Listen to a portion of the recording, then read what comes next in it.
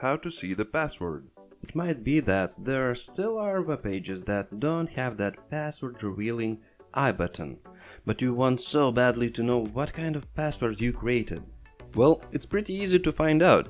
Just right click on a password field, select inspect, and where it says input type password, just change that to text and press enter. And here you go. You like it? Then subscribe.